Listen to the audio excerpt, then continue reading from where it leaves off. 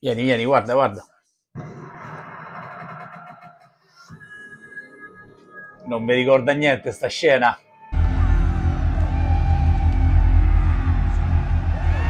Ciao, sono Valerio Novara. Nell'agosto del 65 usciva il primo libro di Dune, il romanzo di Frank Herbert che avrebbe cambiato il modo di raccontare la fantascienza.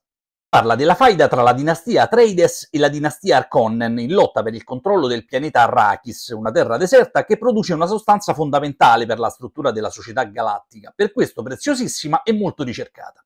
La saga è composta da sei romanzi e ha ispirato tra le saghe fantascientifiche più famose della storia, una fra tutte Star Wars, ma penso di non essere l'unico ad aver notato delle somiglianze con Game of Thrones, la serie tv che fece il botto su HBO, tratta dai libri di George Martin, scritti negli anni 90. E anche se Dune è ambientato nello spazio, il Trono di Spade ne ha preso molta politica, se vogliamo, e anche alcune interessanti svolte di trama. Ma andiamo con ordine. Dune presenta una narrazione che fondamentalmente segue le vicissitudini della casa Atreides, degli Harkonnen e dei Fremen. La storia nel primo libro mostra la faida tra gli Harkonnen e gli Atreides, ma ci dà anche una panoramica di come la politica riesca a guidare gli aspetti più importanti della società. Questo è un qualcosa a cui abbiamo già assistito anche in Game of Thrones con l'eterna faida tra la casa Lannister e la casa Stark. Anche in questo caso si passa alla guerra dopo un tradimento e dopo le subdole scelte politiche di una delle due famiglie, che porteranno entrambi al conflitto. Altra similitudine interessante riguarda i personaggi di Leto Atreides e Ned Stark. Primo, perché muoiono entrambi troppo presto all'interno della storia. Secondo, sono figure d'onore ed è proprio questo onore a spingerli verso questo infausto destino. Entrambi poi accettano con responsabilità di prendere in carico un qualcosa di estremamente importante e pesante. Il primo cavaliere e il governo di un altro pianeta come Arrakis. E considerato che nessuno dei due può tirarsi indietro, sono costretti ad accettare che è quello che li porterà poi ad essere traditi. Altra cosa interessante che le due storie hanno in comune è la religione, o meglio, il modo in cui viene usata all'interno del racconto.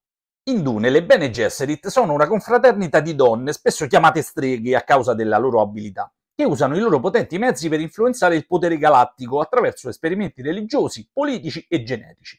In Game of Thrones abbiamo i maestri che, oltre a studiare e svolgere compiti medici e religiosi, hanno anche una certa influenza sulle casate.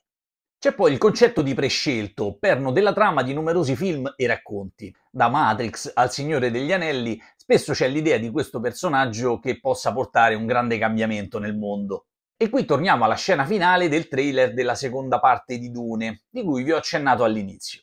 Paul Atreides è il classico personaggio che viene visto come messia, tant'è che le Bene Gesserit piantano questa idea addirittura tra i Fremen.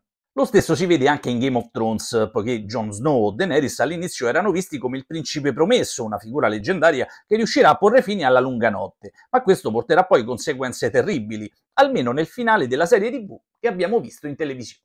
Nei libri di Dune, tra l'altro, la sorella di Paul Atreides, Alia Atreides, ha una certa somiglianza con un personaggio del Trono di Spade, Arya Stark, Entrambe infatti, oltre ad essere sorelle dei personaggi principali, hanno anche alcune abilità abbastanza simili. Nel trailer di Dune vediamo anche Paul Atreides che riesce a cavalcare il cosiddetto verme della sabbia che c'è su Arrakis. Questa scena mi ha ricordato molto quando Jon Snow riesce a cavalcare i draghi con grande stupore di Daenerys. Insomma, non c'è dubbio che ci siano molte similitudini tra Dune e il Trono di Spade. Fatemi sapere anche voi cosa ne pensate, se ne avete trovate altre o se credete che invece le due storie viaggino su binari diversi. Iscrivetevi al nostro canale YouTube Ciacche Azione, seguiteci su Facebook e Instagram, dove tutti i giorni raccontiamo storie e facciamo news che riguardano il mondo del cinema e delle serie TV. Al prossimo video!